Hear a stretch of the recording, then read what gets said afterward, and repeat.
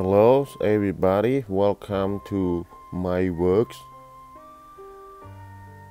Here's Michael Mok. I'm Cambodian, and I would like to share life of poverty's grandma Ngor Sok.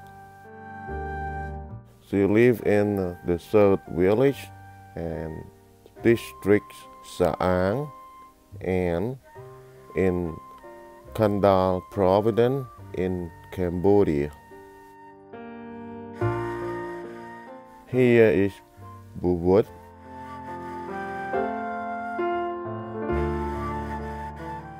He worked at the charities works and he traveled across the countries in Cambodia to help poverty of Cambodian.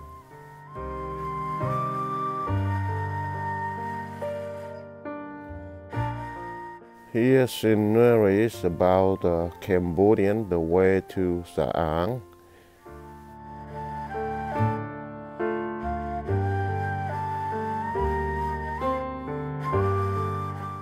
The trip of Phuket to go to see Grandma Ngor. It's hard, it's not easy. You can see this monsoon season and flood all over the place. He had to use his motorcycle with Pou Tak and travel to destination that he got report by the villagers about the life of poverty of Grandma Ngor Sok.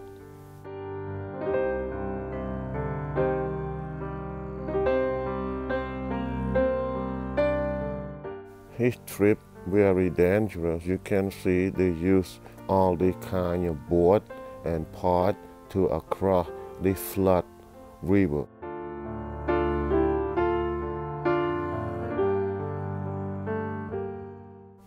And mostly that a lot of easy for them to travel there. They only use motorcycle. It is a long way for them to travel to Grandma Ngor's house. You can see on the road it's not easy at all.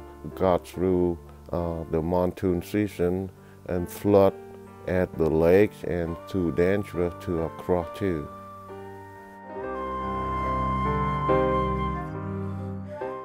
Here is Grandma Ngor Sok.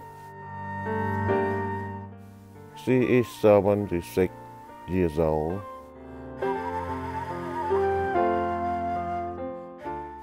To make her living and survive for her old age life, she had to go pick up recycles and she can sell to make the money to three to five thousand riel.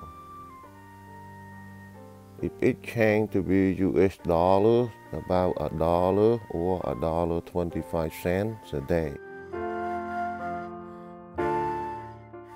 This is around her house. You can see how poor it is. They built by the tin walls and tin roof.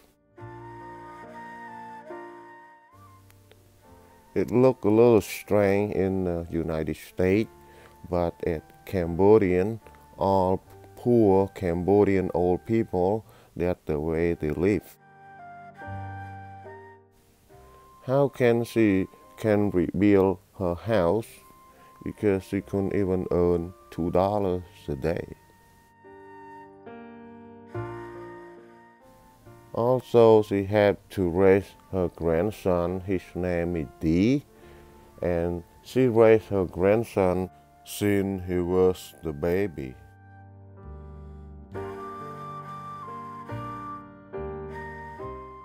But now he is 13 years old.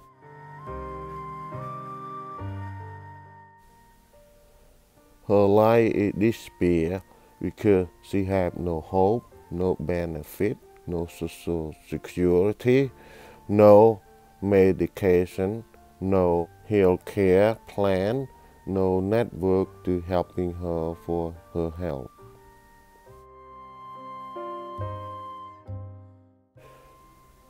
the environment it look very dirty, is not clean or any healthy too. He just live day by day by pick up recycle and sell with a little money less than a dollars បាទខាងកាវិញគឺឃើញថាមានសភាពបែកបាក់ and she had to send her grandson to school too. But this expense it overload for her income. She had to stop her grandchild send him go to school. Because she couldn't afford whatever just a dollars a day to send her grandson to school to spend for his lunch or another need like backpack, like bicycle, like uniform. She couldn't afford it.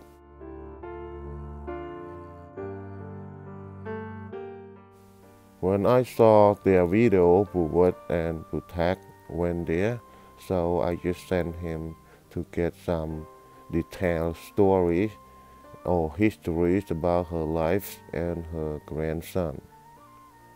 So here I send some money and Pou Tak can take him and her go to see the principal at the school.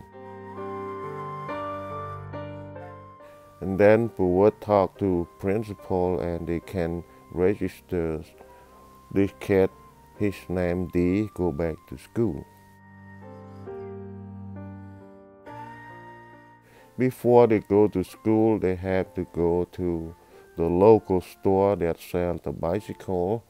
It cost about $125 because the regular bicycle is only $65, but this the mountain bike it costs about $125.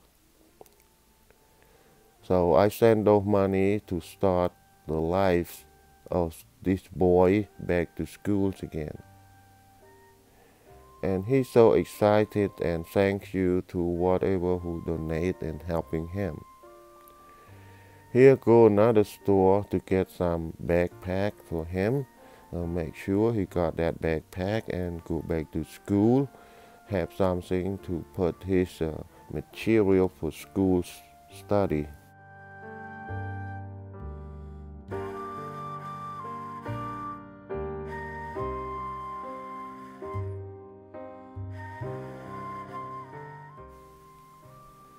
And would pay for that and he just got there, just pick what he liked, the backpack.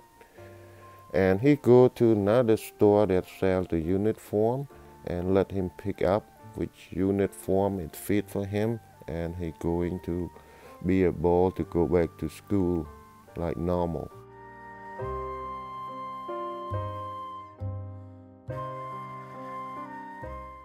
Here he is ready to go back to school. He skipped the schools about two years ago. and Pou Vot and Pou Tak wait for him here to see him how he doing after school.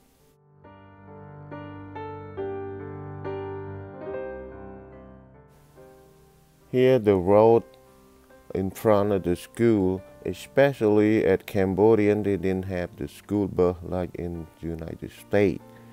If people can afford the bicycle for their kid, they will buy and the kid can have the bicycle it more easier the way that they go to school and more faster and more convenient. This is the boy, the name D that I just helped. So he got the mountain bike and he got the backpack and then he got the uniform. He just got off school and Pou Vot and Pou Tak try to catch up with his activities caught on this video to share to the world. That we already helped him to start up his life, go back to school.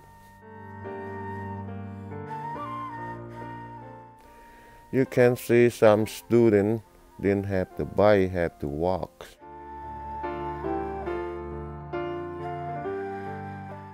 Our country is impoverished and then we didn't have enough job to have all those parents working and earning.